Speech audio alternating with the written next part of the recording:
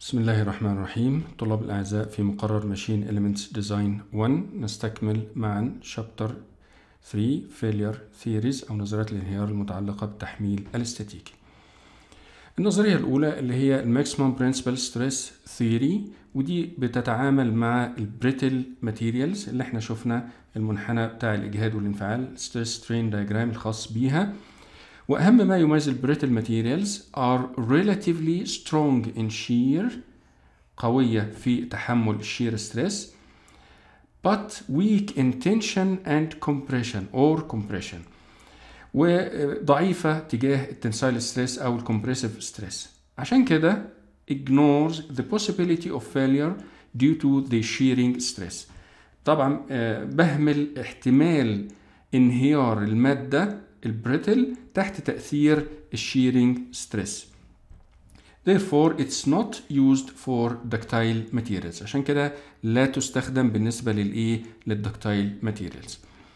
النص بتاع النظرية هو عبارة عن إيه failure occurs. الانهيار بيحدث at a point in a member في عند نقطة في الجزء اللي بيتعرض للإجهاد.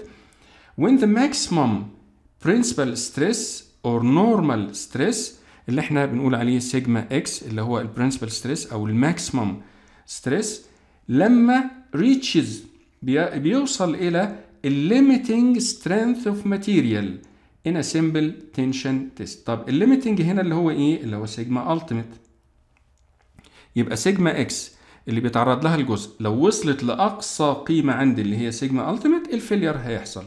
عشان كده أنا بحاول دايما إن ال stress اللي أنا بعرضه الجزء اللي بعرض الجزء ليه يكون أقل من ال sigma ultimate دي وليكن مثلا هنا الشكل ده والنقطة دي بسميها sigma design أو sigma work اللي هو إجهاد التصميم أو إجهاد التشغيل. وهنا باخد factor of safety أو معامل أمان بقسم فيه sigma ultimate اللي هو أقصى قيمة هنا على sigma design أو sigma work بشرط طبعا إن ال factor of safety كل ما كان أكبر من الواحد الصحيح كل ما كان أفضل.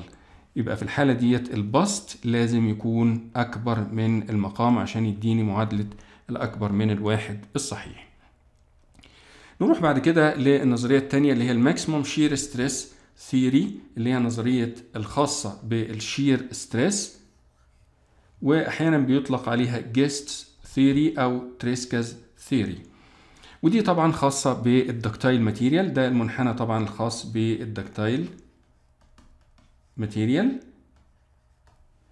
وهنا طبعا الحدود بتاعتي اللي هي sigma yield آه النظرية بتنص على إنه ال failure بيحدث. Failure occurs at a point in a member عند أي نقطة في الجزء اللي بيتعرض للإجهاد. When the maximum shear stress اللي هي tau maximum at a point reaches a value equal to the shear stress at the yield point. لما توصل عند shear stress المناظر ل sigma yield. في الحالة ديت ال failure هيحدث. عشان كده لازم آخد ال factor of safety اللي هو آه بقسم sigma yield السقف بتاعي سقف الحدود بتاعتي على sigma design أو sigma work كذلك ممكن آخد tau عند ال yield point على ال tau maximum اللي هي دي.